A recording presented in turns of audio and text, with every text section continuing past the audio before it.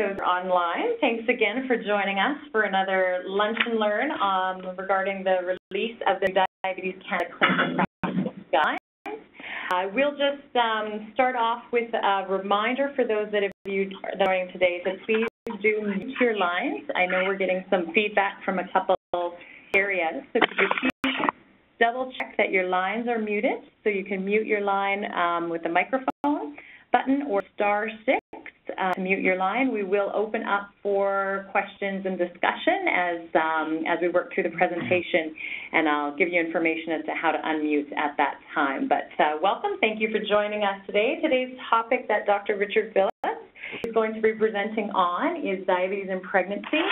Uh, and providing some highlight on the updated guidelines um, on that topic. Dr. Phillips, for those of you that haven't joined us at a previous Lunch and Learn, is uh, an adult endocrinologist that joined us in the Interior Health region just about a year ago, works out of Kelowna, uh, practice out of Kelowna, and also is our regional medical lead for diabetes. So very happy to have him giving of his lunch hours over these upcoming weeks and the past few that we've had around um, information around these clinical practice guidelines. So I'll pass it over to Dr. Phillips to get started with the presentation. Right, thanks, Angela. So I've got the bouncing ball here.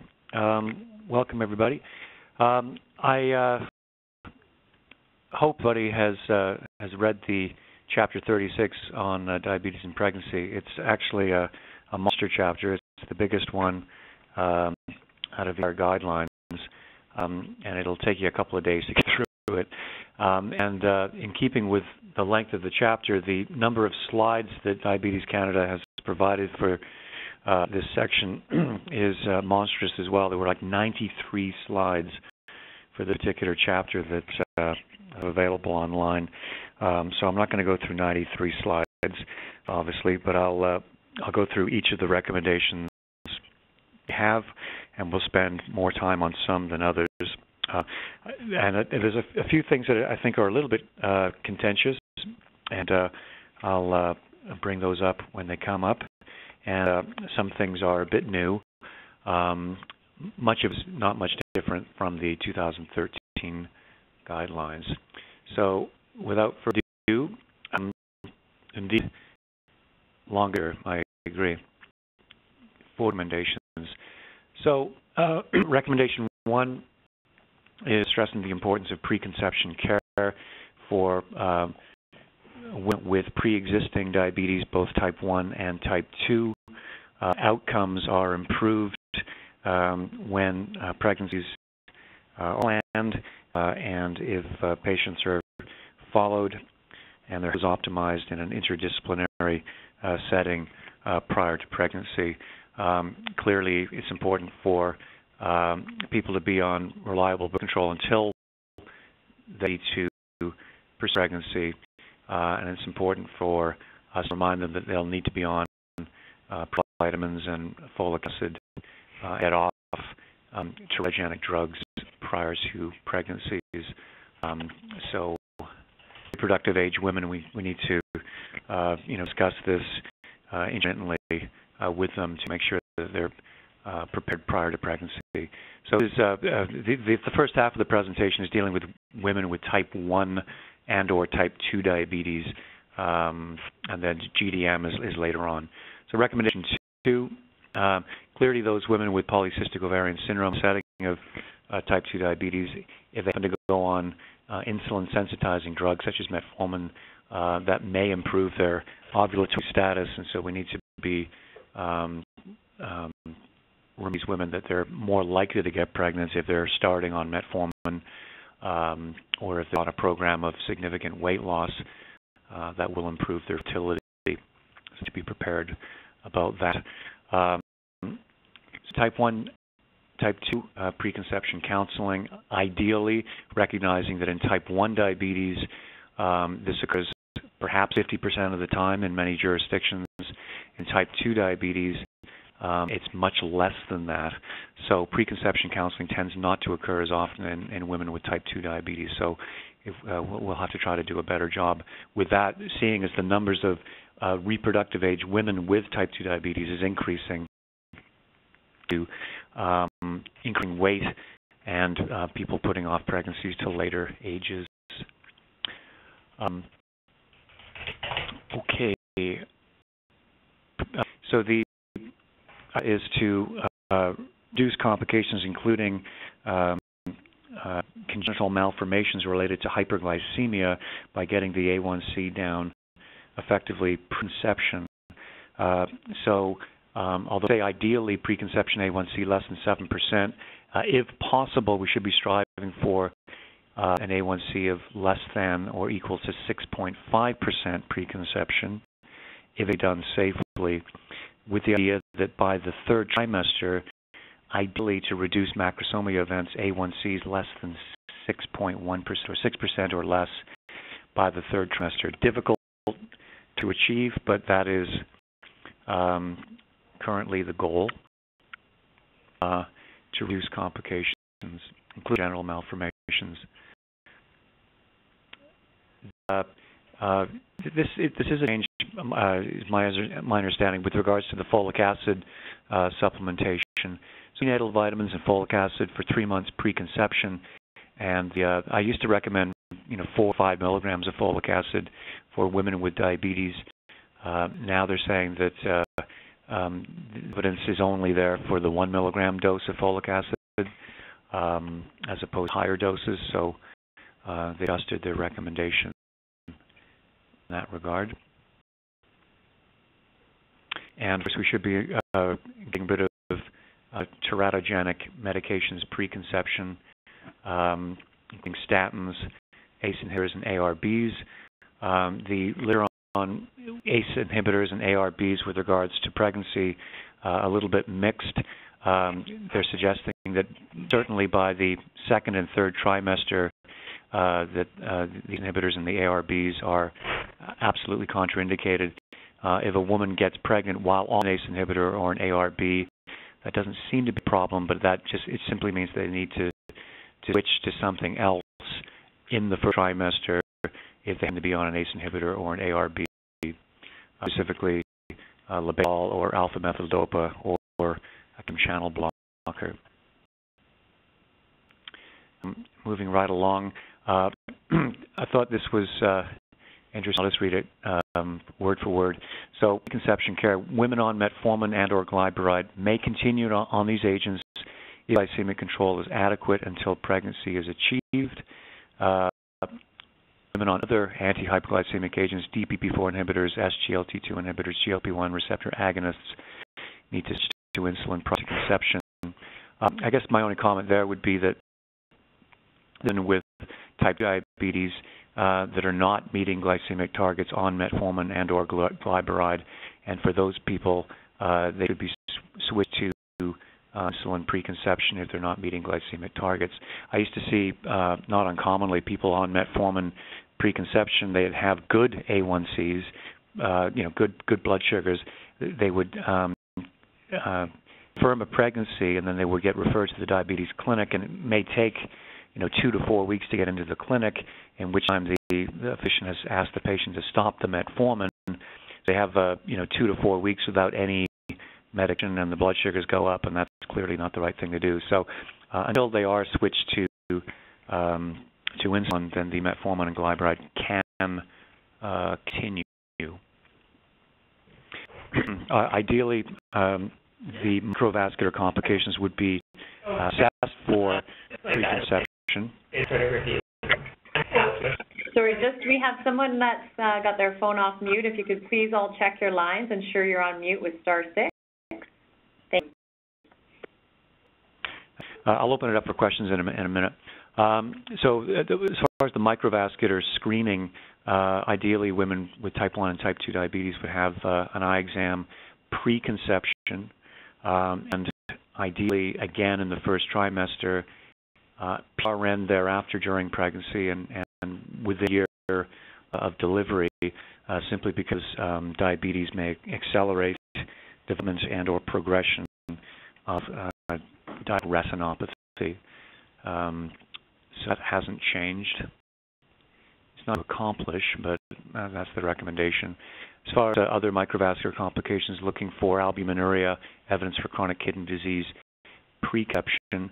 Uh, clearly, if patients have albuminuria or reduced GFR, that significantly increases the risk for uh, preeclampsia and preterm delivery in that setting. Seeing you there. Um, the uh, interdisciplinary care when um, is is an ideal situation. Um, diabetes uh, physician with uh, educator, dietitian, obstetrician, etc.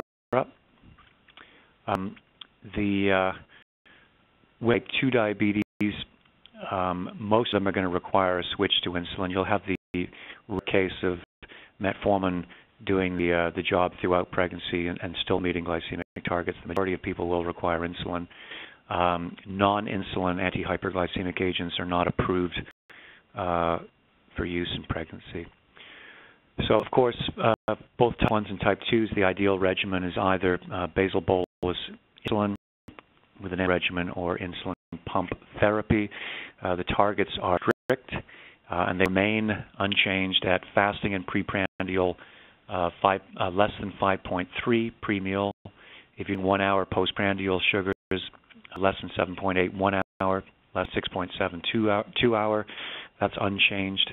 A1C less than 6.5% at conception if possible, and less than 6% by the third trimester. Um, if glycemia is limiting, then you'll have to relax those those um, targets. The the reason for the strict targets is even if people have A1Cs of in type in the type one population, A1Cs between six and a half and seven percent by the uh, bimester, the rate of macrosomia is still incredibly high, uh, 50% plus. Um, so the only way that we can really make a dent in reducing somia rates and the attendant complications is actually to get the A1C uh, down into the non-diabetic range. Very difficult to do. Some uh, patients are able to do it. Uh, these days, um, with um, CM particularly, uh, and either MDI or, or pump therapy. So, um, especially if they've only had their diabetes for a few years. Um, so it is theoretically possible. It just takes a lot of work. Um, and for, for, certainly for type uh, ones and most type twos, we'll be doing the sugars pre-meal and bedtime as well as uh, one or two hour postprandial. So it's a lot of tests. Um, the uh, the weight gain that's recommended by Diabetes Canada is um, based on the weight uh, weight gain uh, targets as per the Institute of Medicine, um, and the uh, um, Canada appendix does have um, recommendations for weight gain based on conception uh, BMI. Those can be easily looked up. The uh, NCUs in pregnancy, um, generally for type 1 and type 2 uh, patients, uh, we use uh, rapid-acting insulin analogs. Um, strictly speaking, the depth suggesting improved glycemic control with an analogs compared to uh, regular or Toronto insulin uh, is not great. Uh, there is some evidence of better postprandial control with the analogs. So generally speaking, Diabetes Canada is recommending either NovoRapid Humalog or uh, Apidra for type 1 diabetes uh, and type 2. For type 1 diabetes, we're using uh, uh, long-acting insulin analogs preferentially. For type 2 diabetes and for gestational diabetes, I think NPH insulin uh, for a basal insulin is perfectly fine. Uh, it's less likely to develop hypoglycemia, especially in the second and third trimester. Both type 1 and type 2 patients, of course, will be prone to hypoglycemia at the end of the first trimester. Um, so that's the day period to watch. Uh, in pregnancy, um, now something that I haven't been doing in the past, but it looks like I'll be doing it now. Women with pre-existing diabetes, type 1, type 2, should start ASA 81 milligrams daily, uh, 12 to 16 weeks gestation to reduce the risk of preeclampsia. Uh, I think that's a new thing for me, anyway. Um, I'd be interested to hear if other people have been doing that route as well, or if this is a new thing. Seems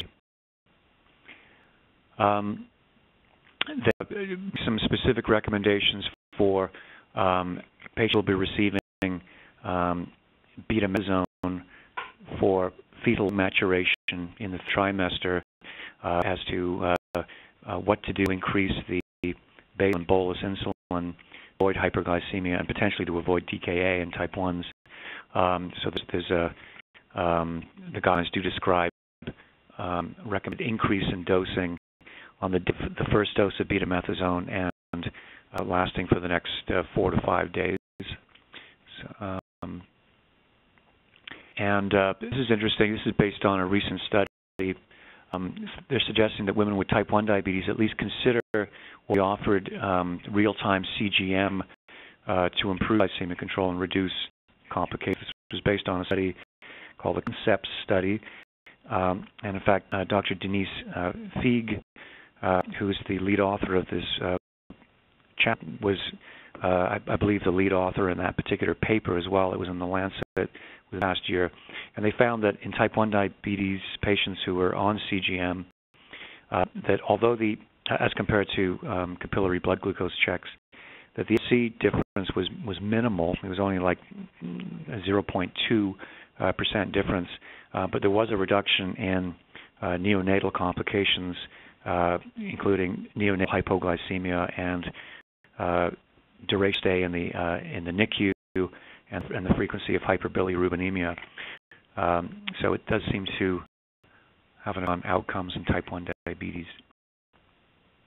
Uh, I'm not an obstetrician, so I, am not making decisions with regards to fetal valence and timing of delivery, so that's generally uh, made by the maternity uh, folks.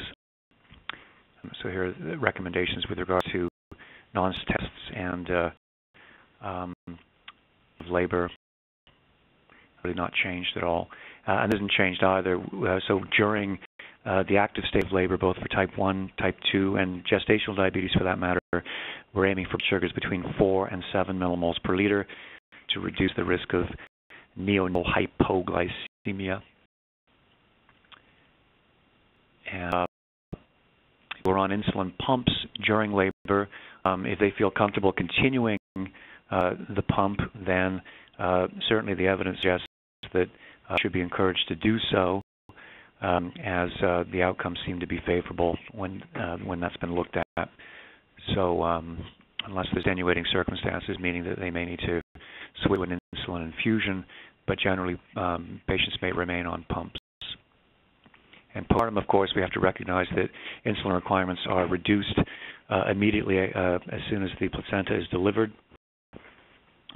Uh, reduction in doses uh, as much as uh, 30 to 50 percent less than the total daily dose that was given preconception, at least for a few days to a week or so. Um, so, uh, um, you know, great reducing the insulin doses um, postpartum is necessary, uh, even less than the preconception dose, at least temporarily. Um, therefore, they need to check their blood sugars frequently. Uh, and then they make some recommendations about recommending uh, breastfeeding, of course, recognizing that uh, the uh, um, frequency of uh, continuing on with breastfeeding is less in type 2 diabetes than it is in the general population for a number of reasons.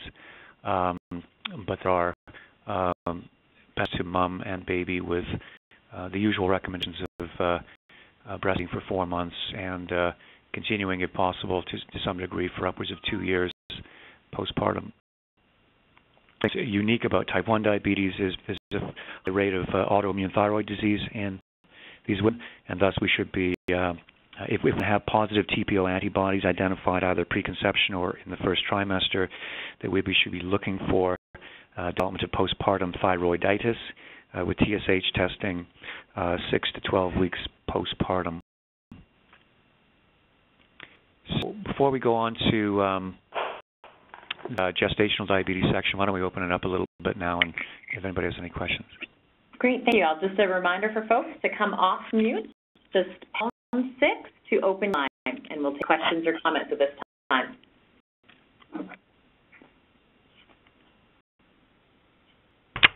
Dr. Phillips, I have a question for you. Um, with the use of NPH, um, in because that's what we've, we've always been using. If you have someone who's quite non-compliant to taking the second dose of of eight, so she's good in, in the morning, but she's not good at supper time, would you consider putting a person like that on Levemir or Lantus? Once a day coverage? This uh, for uh, GDMs or for type type twos, right? Um, yeah, that would be a reasonable thing. I mean, the, the, I guess the problem is uh, they're quite insulin resistant, obviously, and, and uh, an NPH has certain advantages um, over the long-acting analogs due to the fact that they do have that that kick to them, you know, that sort of uh, that peak effect required in order to uh, um, you know, to deal with the insulin resistance. When you have uh, insulins with flatter profiles, you don't get that kick. Um, in, in some cases, it doesn't work as well. Uh, but I think that would be a reasonable idea. Um, but you know, generally speaking, for for GDMs and type twos, um, you know, I think NPH is, is the drug of choice. Otherwise, but uh, and that special circumstances, that sounds reasonable. Okay, and if you were to do that, would you have a preference over Levemir versus? Um, well, if if we're if we're sticking to the once a day thing, it would probably be Lantus because I mean certainly there's a large proportion of patients that do require Levemir twice a day. Once a day would be fine for the, for a Lantus situation. So I, I guess it would be Lantus. Okay, thank you.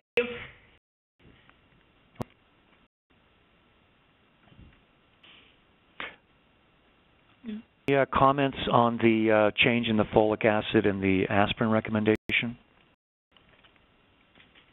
Um, with the aspirin, it's only grade D evidence, so would uh, would you still be recommending it?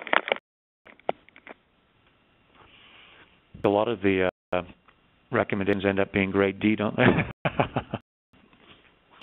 it's uh, um, the I mean the, the the idea behind it is to uh, preeclampsia. So I guess if if um, it may not be a blanket statement of a, a woman who's got no microvascular complications and an excellent blood pressure and uh, one diabetes for a relatively short period of time and, and, and is relatively young, that would be um, case you wouldn't do it.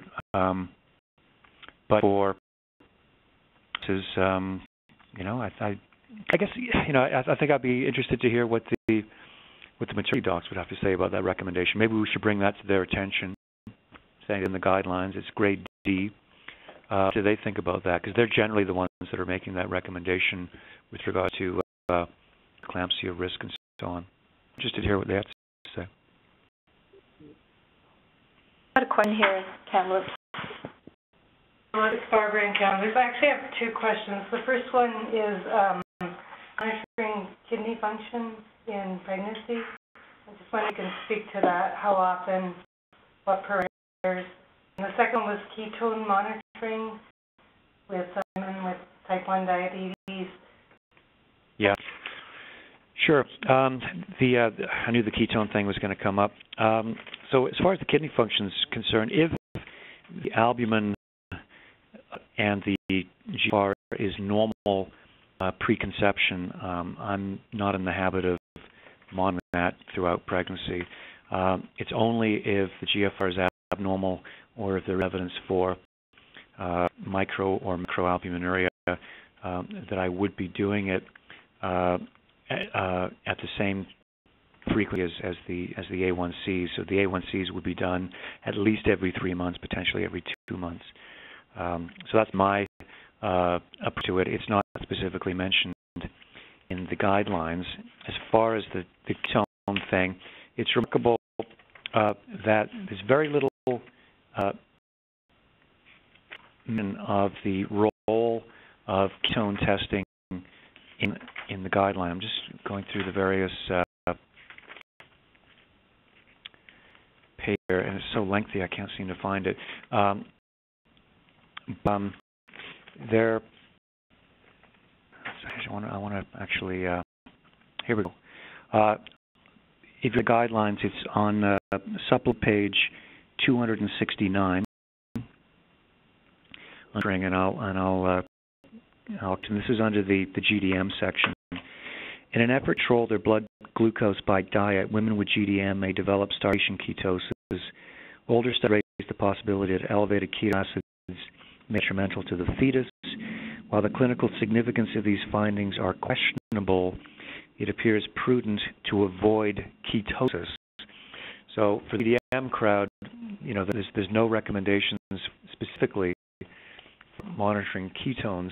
I think what uh, my practice has been is if there's a concern that a woman is uh, gaining weight appropriately or if there's a fear that they're restricting their carbohydrates excessively, uh, that we would be checking ketones, looking for evidence of starvation ketosis to, to reintroduce uh, carbohydrates in that setting. In type 1 diabetes, uh, I think uh, patients with diabetes in pregnancy uh, should uh, um, be able to test uh, either urine ketones or capillary ketones um, as sick day management or for unexplained high blood sugars, and especially for those uh, who are on insulin pumps. So every uh, patient who's on an insulin pump, I've been recommending that they um, have a, a that allows them to do capillary ketone testing uh, under those circumstances because, uh, of course, the pump patients, if they have a, a, lack of insulin delivery due to a kinked catheter um, or an infusion that's plugged for whatever reason, um, they only go three or four hours without insulin delivery before they'll start developing ketones. And in that situation, we know that you know till acidosis in type 1 diabetes in pregnancy has a uh, you know has a very poor prognosis as far as uh, the health is concerned if it's allowed to continue. So uh, I'm a bit paranoid about ketones and type 1 diabetes, especially in pump patients. So the guidelines don't they're they're they're, they're, they're a bit silent on the ketone question, uh, and that's uh, a bit surprising, I must admit.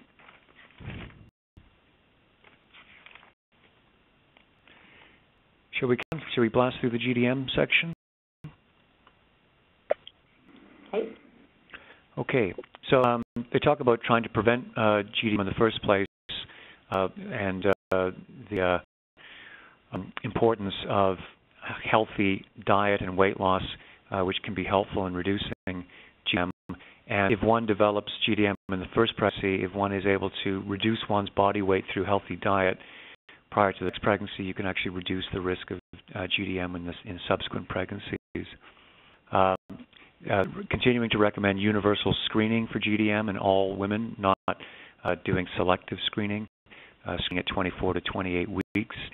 Uh, again, much like the last guidelines, they have um, a preferred approach for screening versus an alternate approach. Their preferred approach is the two-step with a 50 gram challenge, followed by a 75 gram uh, glucose tolerance test thereafter if they fail the 50 gram. And the alternate test is the uh, standalone uh, 75 gram OGTT.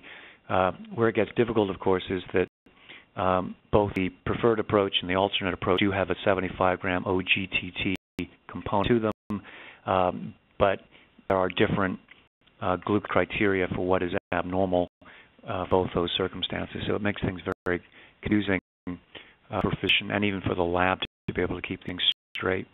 And of course, the 25 gram glucose tolerance test results are clearly different uh, from the non-pregnant state. So it just it, it's a bit confusing. In Victoria, we use the the one-step model um, just to try to avoid confusion, um, recognizing that the two-step approach uh, has much more data um, and outcome data associated with it. Um, diagnosis. Um, this was and I'd, I'd, be interested to hear what people have to say about this. And I'm not entirely sure um, I know what to do with this. Let's just read this particular record. So women identified as being at high risk for type 2 diabetes should be offered earlier screening than 24 to 28 weeks with an A1C test at the first antenatal visit to identify diabetes. If, if there was any thought that they might have a spiritually high or low A1C due, a, due to a hemoglobinopathy or some other thing, then a fasting blood sugar should be done. And they and, and so in in trimester, they say that you should follow non-pregnant criteria for diagnosing diabetes. So A1C over 6.5%, fasting blood sugar over 7. If they meet that criteria, you should be considered diabetes in pregnancy and treat such. If you're lower than those, they say, you know, and do your screening as per usual at 24 weeks. No, do of course. I'm sure many people in the audience would do this as well. If I saw an A1C that was between 6 and 6.5 percent, if I saw a fasting plasma glucose that quite likely was between 5.3 and 6.9, I would say, well, that's clearly abnormal. Um, and at the very least, um, I would be offering uh, the follow-up through the GDM clinic with home glucose testing to see if they're meeting their targets, with dietary therapy uh, to whether they actually need to be on insulin. So they don't specify that, um, but there's a huge gap between you know having you know high risk for diabetes first trimester, you know, do you have diabetes or not? Uh, is, you know, well, you may not have type 2 diabetes first diagnosed in pregnancy, but you may have sufficiently high blood sugars to justify treatment. Now, because there's no data to suggest that treatment of those that latter group is beneficial, they kept it out of the guidelines. But I, I must admit that I, would still be treating those people, following them closely. Uh, I'd open it up for uh, on that on that point as well, Angela, if you don't mind. Yes, of course. And pound six, if you, anyone would like to comment on that point.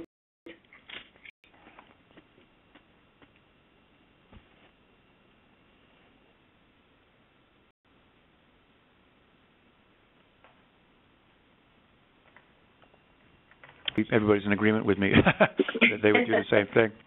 Um, but uh, some people need to be screened uh, before the, the usual time, and and if the sugar are, are higher than the glycemic targets that we're looking for, in, you know, in the in the third trimester, I'm still, you know, following these folks closely.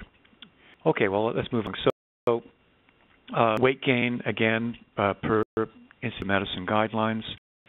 Uh, nutritional uh, counseling, um, I'll leave this to the experts who are the dietitians, but specifically suggesting um, uh, a low glycemic index diet uh, to replace high glycemic index foods um, and spreading the carbohydrates throughout the day uh, with uh, um, snack, including bedtime snack, usual, nothing new.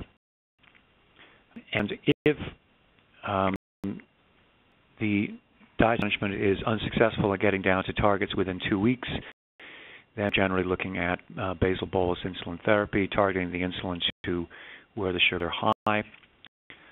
Uh, for whatever reason, patients decline insulin. The drug of second choice in GDM uh, uh, metformin. And if for whatever reason they don't tolerate metformin, drug of third choice would be glyburide surveillance is generally up to the uh, maternity people and or wives with uh, non-stress tests and uh, and induction of labor. Uh, decisions aren't made by me. If I have any concerns, I certainly contact other team members, um, let everybody know what's going on.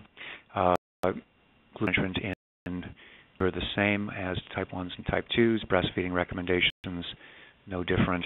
Uh, one thing that is often not uh, accomplished by our patients is for them doing uh, a redo 75 gram glucose tolerance test within six weeks to six months of uh, delivery uh, to see that their um, diabetes resolved, whether they have impaired glucose tolerance, uh, to help predict their risk of diabetes in the future. Um, um, of course, the importance of uh, maintaining a healthy body weight prior to the next pregnancy to avoid GDM the next time. Um, I think we can probably leave it at that. I think that's it. Recommendation four two. Yeah, we got through it on time. So uh, let's uh, open it again. Great. Um, or pound six to unmute your line if you have any additional questions around the gestational diabetes management or earlier type 1, type 2 management questions. Dr. I do have a question um, in regards to the one hour versus two hour post testing. It Seems there's a different opinions out there as to which one to use, and recently I came across a discussion where they said that there was stronger evidence for the for the two hour post rather than the one hour post. I've always done whichever one's higher. I typically have women check one day one hour and the next day two, and then we pick the one that's higher. Would be makes more sense than just relying on two hours because I think we could miss a number of people that way. What is your opinion? Yeah, um, I uh, yeah, it's not written in stone for sure. Uh, so women would type one actually. Um, oh, we talk about, I guess, I guess it could be DMs as well. Are you talking about GDMs, type ones, type twos, or, or most of the GDMs because that's the bulk of who we see. Right. Uh, so in in uh, in GDMs, I've generally been recommending one hour, um, and if that is not possible for whatever reason, uh, you know, I, I'm I'm had to fall back on the two-hour thing. Uh, I haven't been specifically looking at one versus two and, and picking the higher one. I mean, that makes sense. Um, I mean, generally speaking, under under normal circumstances, the uh, the blood sugar is at its highest um, in between them. So just just a little bit beyond the one hour mark is, is sort of a, a postprandial peak. Um, I uh, my my practice has been one hour. I've been settling with two hours if it's necessary. I think your plan sounds sounds like a good one. Um, I mean, which if there's a problem with with one or the other, then focus on that. Okay.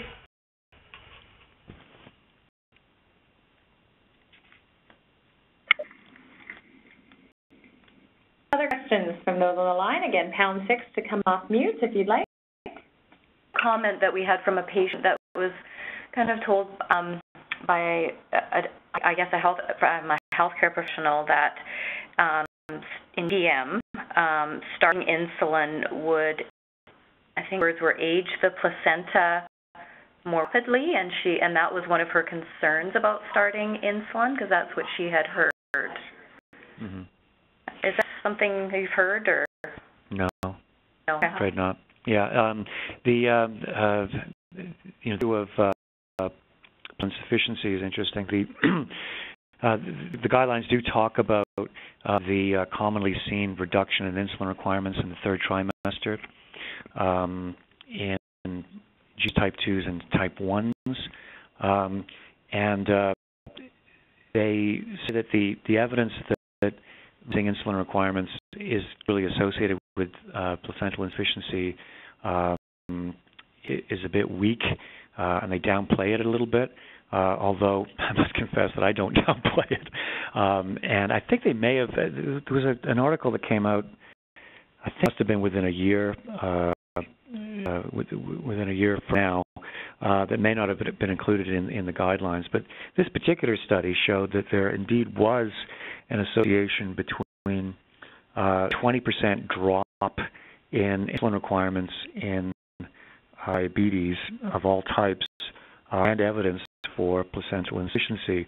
Now, placental insufficiency clinically is associated with um, um, you know reduced fetal growth uh, and uh, oligohydramnios and potentially on ultrasound uh, abnormal DOP flow in the in the umbilical cord and, and potentially even a ragged looking um, on ultrasound. So, you know, placental insufficiency, the baby doesn't look as if it's getting full nutrition, so it's affecting its growth uh, and can be uh, anticipated by a drop in insulin requirements. So, my my uh, uh, sort of uh, practice has been, and this more recent study has uh, um, strengthened that practice, that if we see a drop in total daily dose insulin requirements of more than 20 percent, um, that I'm letting somebody know, the maternity doctor, to ensure that um, you know there at least once, if not twice a week, um, non-stress tests being done and um, ultrasounds being done, looking specifically at the health of the placenta under circumstances. So most of the time it's going to be a false alarm, but sometimes it's not going to be a false alarm, and I just don't want to be in in that situation where you miss something important.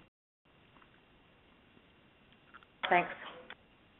Ashton, in the postpartum screen um, to, to test for prediabetes or diabetes, um, do you think uh, I would be? Uh, could they do like the fasting blood glucose or an A1C rather than have to do the sugar test? Because I feel, I wonder how many women aren't going to do that or, or don't end up doing that, and couldn't mm-hmm. they just monitor monitor those parameters? Yeah, I mean, you'd think uh, it, it, the the uptake of that would be a lot better, and certainly, you know, if they've had gestational diabetes, um, doing either a fasting glucose or an A1C once a year thereafter, I think is uh, is justified. Um, I think that what, what they talk about in the in the body of the guidelines is that the uh, sensitivity of the 75 gram test is better than the fasting or the A1C, uh, and that and that's why they're they're sticking to that particular thing. Um, of course, interesting to note that um, if you look, if you take 100 women and you do all tests on them, um, and glucose challenge versus A1C versus uh, fasting glucose, um, they're not going to be perfectly overlapping results for each person. So it's going to be like a Venn diagram. So each test will pick up a certain segment of of women, um, uh, whereas other ones won't. So as far as um, sensitivity is concerned, they're still recommending the, the glucose test, but uh, you know, it's uh, the uptake's not that great. That's the reason. Thank you.